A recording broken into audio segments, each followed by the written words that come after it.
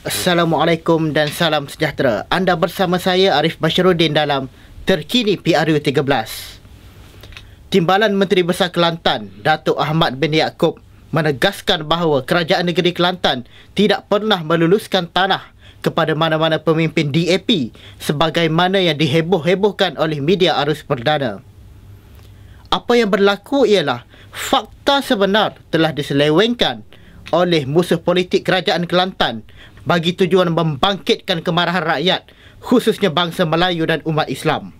Saya ingin tegaskan eh, kerajaan Kelantan tidak pernah meluluskan tanah kepada mana-mana pemimpin Cina DAP sebagaimana yang dihebohkan. Yang ada ialah syarikat ini dalam syarikat upaya padu ini di, di sahamnya dipegang atau dimiliki oleh uh, Cina DAP itu. Tanah yang dikatakan seluas 12,000 ekar itu terletak dalam kawasan hutan Simpang Relai, Gua Musang. Telah diberi secara konsensi penggunaannya kepada Yayasan Islam Kelantan YIK untuk dibangunkan di bawah program Ladang Hutan. Ini kerana mengikut peraturan yang telah ditetapkan, mana-mana tanah yang dirizapkan sebagai kawasan hutan simpan tidak boleh diberi milik, dipajak atau digadai. Walau bagaimanapun, sebagai agensi yang tidak memiliki kepakaran dan peralatan untuk membangunkan ladang hutan, Yayasan Islam Kelantan telah memilih secara tender terbuka untuk mencari rakan kongsi. Pada awalnya, syarikat yang berjaya memenangi tender tersebut ialah Terajati Sendirian Berhad. Namun, setelah separuh jalan, syarikat tersebut gagal memenuhi syarat-syarat yang dipersetujui dan Yayasan Islam Kelantan telah menamatkan tawarannya yang mana kemudiannya diperakukan kepada penender kedua iaitu Syarikat Upaya Padu Sendirian Berhad untuk mengambil alih. Syarikat Upaya Padu Sendirian Berhad pada awalnya ini dimiliki oleh pemimpin MCA dan BN Pahang.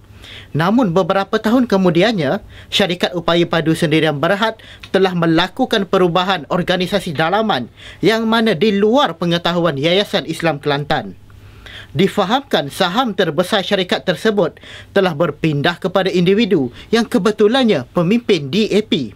Sementara itu dalam satu kenyataan lain, pengerusi Lujnah Guaman PAS Kelantan, Hisham Fauzi, telah memberitahu bahawa pihaknya telah memfailkan saman fitnah berkaitan dengan isu ini di Mahkamah Tinggi Kota Baru dengan menamakan blog pisau.net, B. Kalaivana dan utusan Malaysia sebagai defendant jangan dipolitikkan suatu isu yang direka-reka.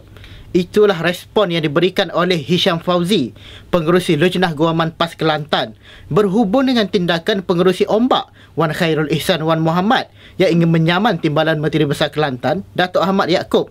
Berikutan kenyataan Datuk Timbalan Menteri Besar Kelantan yang menafikan berlaku pencerobohan dan menuduh ombak cuba mengelirukan rakyat dengan mencantum-cantumkan gambar isu ini tidak perlu dipolitikkan.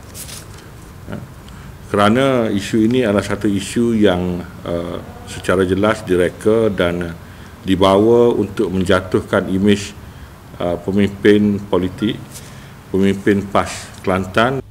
Menurut Hisham Fauzi tanah adalah amanah rakyat dan rakyat tidak harus dikelirukan dengan fakta yang tidak benar.